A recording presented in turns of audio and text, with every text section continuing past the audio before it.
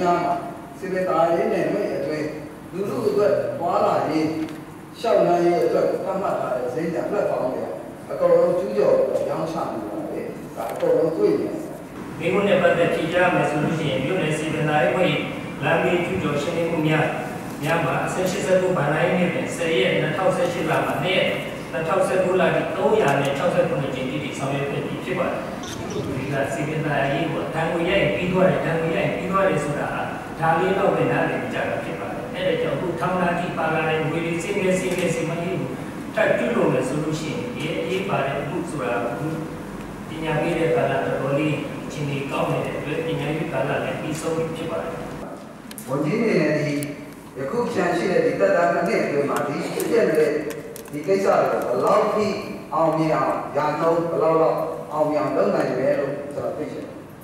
ဆက်ဆက်လေးကိုဖြည့်ကြဖို့ဖြစ်ပါတယ်လဲတော့ရန်လုံး60တိအောင်မြင်ကျွန်တော်ကြိုးစားတော့ဒါဥပဒေနဲ့အရေးယူဖို့ဆိုတာသူ့ရဲ့အပေါ်မှာအပိုင်းလဲအဆင့်လိုက်လောက်ရမှာဖြစ်တဲ့အတွက်စီပင်သာကိုဘယ်လောက်ထိ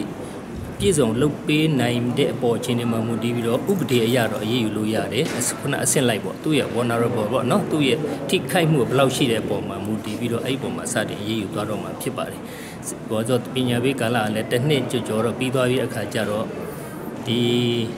လာမဲ့ဒီတလနှစ်လအတွင်းတော့ဒီဝန်ထမ်းတွေတိုးချဲ့ဖွဲ့စည်းပြီးသွားမယ်ဒီအတွက်လည်းပံ့ပိုးပေးနိုင်ပြီဆိုလို့ရှိရင်ဒီတလနှစ်လအတွင်းအစပြီးတော့ဆောင်ရွက်သွားမှာဖြစ်ပါတယ် ငွေတန်းက320နဲ့330ကြားထိဖြစ်သွားနိုင်မှာဖြစ်တဲ့အတွက်အဲ့ဒီရောက်လူတွေကြကြပြပြန့်သိလာဖို့အတွက်အခုနည်းနည်းလေးဒီတလနှစ်လအတွင်းမှာနည်းနည်းဘယ်လိုပြောမလဲတိတ် serious ဖြစ်တဲ့ဆိုင်ကိုစပြီးတော့ဆောင်ရွက်သွားမှာဖြစ်ပါတယ်